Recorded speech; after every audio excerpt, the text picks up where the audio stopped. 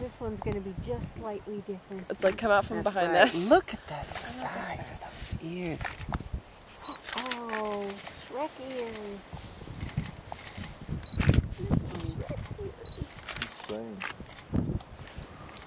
Oh yeah, he is.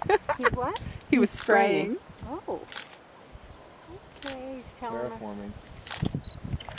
Okay. Sure. His skin texture on the side is Oh, backing up.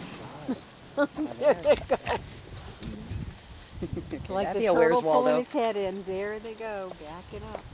You can't see me.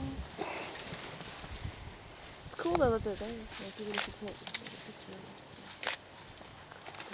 Is, is it also common to see a lot of rhino together?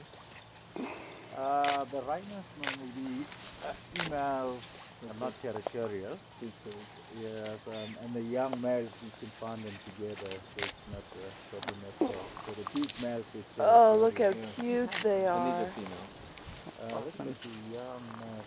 No, No, there's that's a a male. male. You Oh yeah. Oh, Yeah, okay. look, look, look. Do it leg check. Leg check.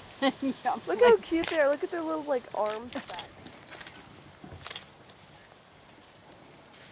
Good, I take the sleeve and it says I can see a cluster.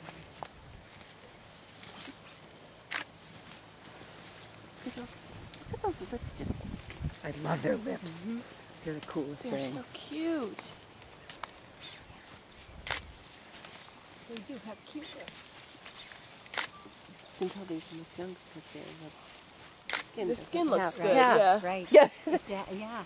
No You've been using oil of disease. Olay. Look at them.